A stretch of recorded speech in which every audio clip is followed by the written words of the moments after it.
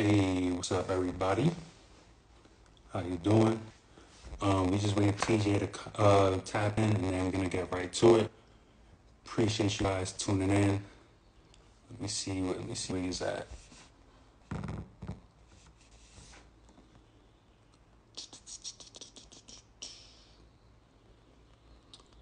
See where he at.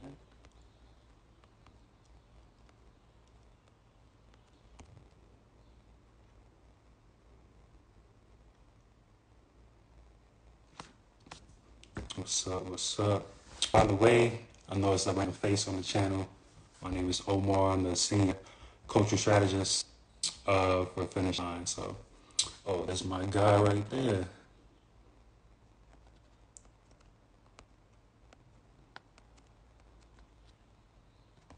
Click here. Go down.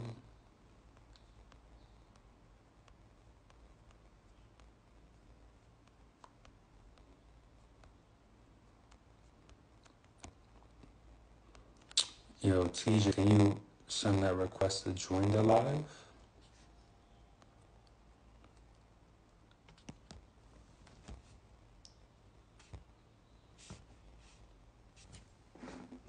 I got my AirPods on. Yeah, let me take the AirPods off. It seems like I'm the AirPods off.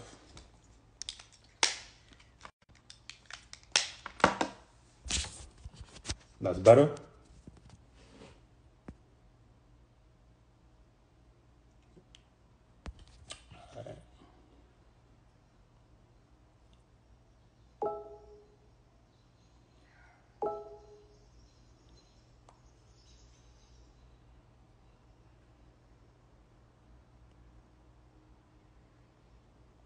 No questions.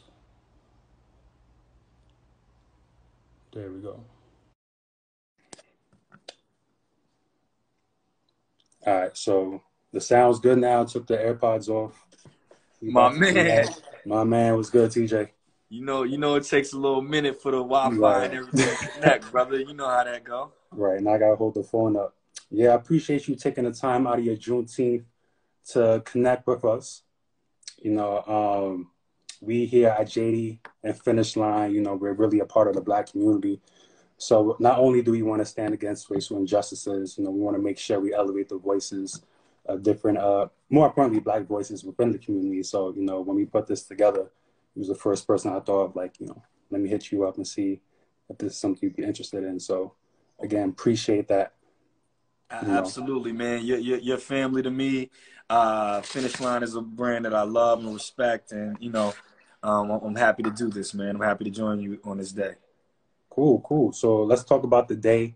You know, 1863, that's when the Emancipation Proclamation was signed. Yep. And it took two years for it to really take effect and for the other states to really understand what happened in the country. And hmm basically, slavery got abolished. So, with that said, what does Juneteenth mean to you?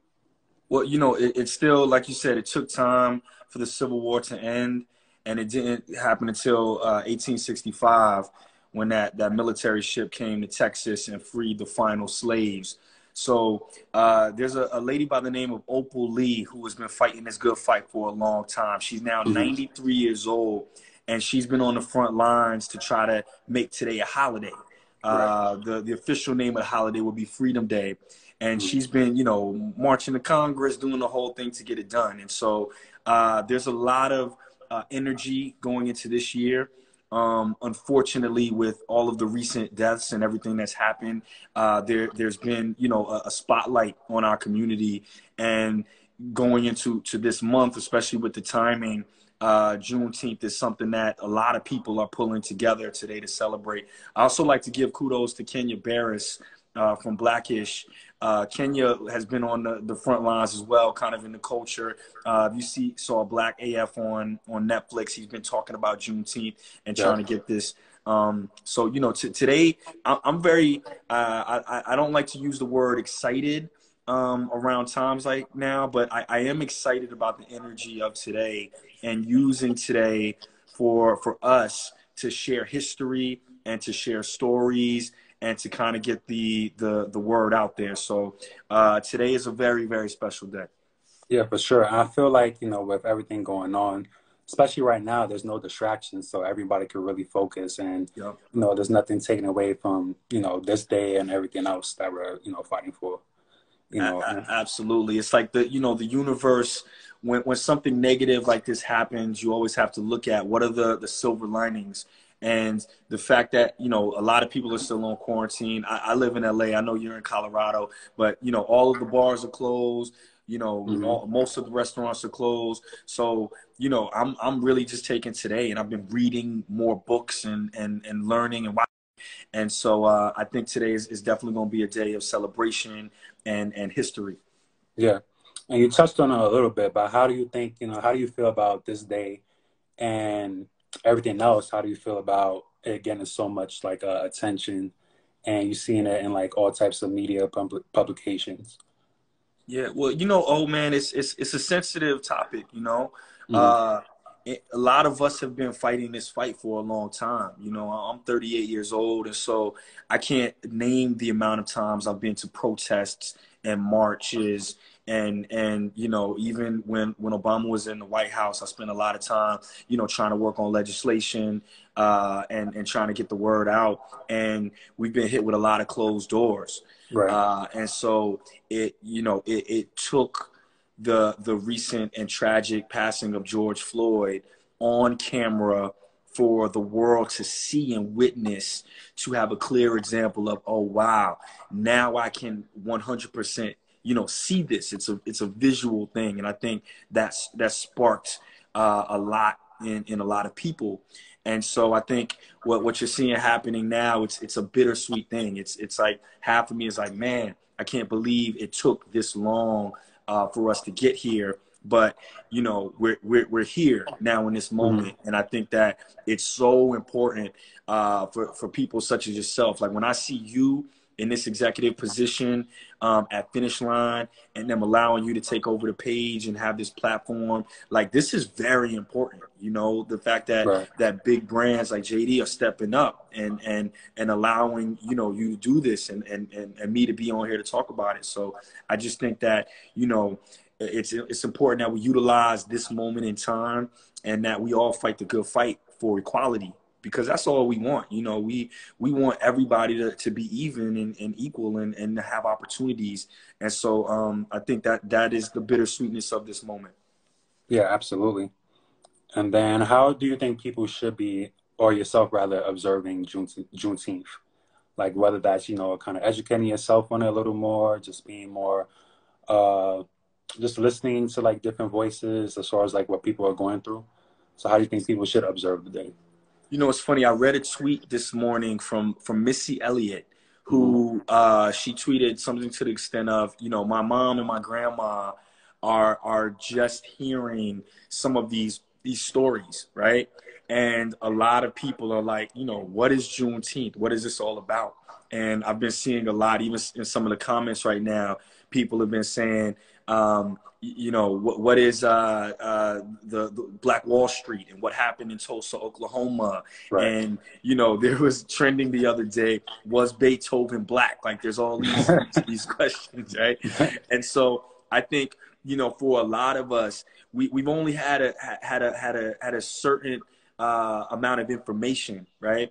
Mhm. that, that's been that's been fed to us right? Through our school systems and through through education and just through the stories that we share. And so i think first and foremost is you know is um the information right? It's educating ourselves. It's it's sharing these stories learning these stories doing our research. So much of so much of it has been kept out of the school systems. And so it's so important for us to do our our research. So i'm learning new stories every day. Over the Right. past three months, two months, I've learned more about Black people and our experience in this country and our culture than I, I have, you know, and going through college, right? Mhm. And so, you know, I think it's important for us to share these stories um, and do our research. And then as far as the celebration, you know, I think that that's going to be on us. I, I already know Yeah. how, you know, I already know how we're going to do. You know, I think today we're to, you know, have some cookouts going on. I'm I'm gonna have some some very safe quarantine people in the backyard and light up Mhm. the grill. And um, I think it's, you know, we, we celebrate our ancestors, we appreciate their fight for us, and we look towards the future. And the future is bright, you know, and everybody that's on this this chat right now that's that's tuned in, man. I don't care if you're black, if you're white, if you're Hispanic, if you're Asian, man. This is a, a humanity problem, and this is this is this is going to take all of us coming together, loving each other, working together, right. so that you know, 40 years from now, our kids just look at what we were going through as ridiculous. I want our kids to be able to be like, "Yo, what? Y- y'all were." mad about that like I, I want i want it to feel like that to them because mm-hmm. of the the work that we put in now so that they can have a better tomorrow. Yeah, you mentioned the education piece. I think that's something that's very important because you know as we go through like elementary school and middle school, we don't really learn about these stories. So especially using this day to really, you know, increase your knowledge and really understand like different black stories. That's also a valid point. One hundred percent, man. You know, I remember being in in you know middle school and and high school, and the only things that I can like really remember is you mm-hmm. know we were all laid down in slave ships and how bad you know the slave ships in the Middle Passage and, and all of that was right. Right. There there were no uh, empowerment stories, right? I don't mm-hmm. remember my teacher saying, yeah, you know, black people were Tuskegee Airmen that fought, you know, black people, you know, uh, helped build the infrastructure of this country. You know, black people were intricate in World War II. And, you mm-hmm. know, like, I don't remember them them telling me that those stories and so it's important now you know to not look and point the finger and do all of that, but to say, Absolutely. okay, we now have, you know, more information at our fingertips than generations had in their entire lives, right? Mm-hmm. when I was 12 years old, there was an Encyclopedia Britannicas, right? You had to, yeah. to open up an encyclopedia mm-hmm. to look up information. And now, you know, you can Google it, you can research it, you can do your research in, in the phone that's in your hand. Right. And so I just think it's a beautiful opportunity, man, to, to, to do that research and, and, and, and pull together. Yeah. It's like, remember going to the library, you gotta look up the numbers to figure out what book you're looking for. Like, it's crazy. And now it's everything's crazy. like in the palm of your hand. Yeah. And then, um, what's like the thing you think, the thing people should take away from this day, lastly? You know, I, I think there's this misconception with Black Lives Matter and there's this misconception with black history and those misconceptions are that it's it's only for black people right mm-hmm. and and for me you know when i when i study the the holocaust right when i study what happened to you know our jewish brothers and sisters i i take it personally right when i see the the nazi flag I take that personally, right? right? Because it's it's a humanity thing to me, mm-hmm. right? And I've done so much research on the the Holocaust and so much research on what happened, you know, to lead to World War II. Like I feel a lot of us have have watched multiple World War II movies and multiple, you know, uh, uh, documentaries on what yeah. happened with, with them, right? Because in order to understand all of us as humans, you have to understand all of the human plight. And mm-hmm. so I think the misconception is that, you know, what has happened to black people is something that only we should research and only we should study. And right. it's like I want all people of all races to to feel just as passionately about uh, uh, black people in our struggle as they do when they see a Nazi flag, right? Mm-hmm. And and the history and the information is like, yo, this is something that all American kids should know about, right? We're Americans too, you yep. know. And so I just that that's the that's the biggest you know takeaway for me, and, and one of the biggest misconceptions is that like you know our history is something that happened in Mars. Like no, our history yeah. happened right here in America, where uh, American, American history yeah, yeah, it's it's us. So mm-hmm. you know, it, I I think that's very important. Cool, cool. But yeah, you know, I don't want to take up too much of your time. So, you know, I thank you for coming on and sharing all this information, not only with the finish line and JD Thang, but with everyone else tuning in. And yeah, you know, I'm Omar, senior cultural uh, strategist for Finish Line, and that's Terrence J. And let and let hold, let me take a minute. Yeah. Omar is is the cultural strategist but Omar has been on the front line so much And that's why I'm like, I got to applaud brothers like you. Like this ain't our first rodeo. You know what I'm saying? Like yeah. you, you, you've been moving the culture forward. You've been there on the front lines, and you're there in the corporate office fighting a good fight for us. And so, like, I just want to let you know how much I appreciate you, man. Like, you know, you you you're you're you're an integral part of this, and the things that you're doing with Finish Line is very very important, bro. So so thank you so much for all the hard work you do, man. Yeah, I appreciate that. You know, all I can do is you know pay it forward and you know keep progressing. So, one hundred percent. Yeah. All right, cool. Appreciate it, man. All right, man. Have a good one, man. Happy Juneteenth, bro. All right, you too. All right, love. All right.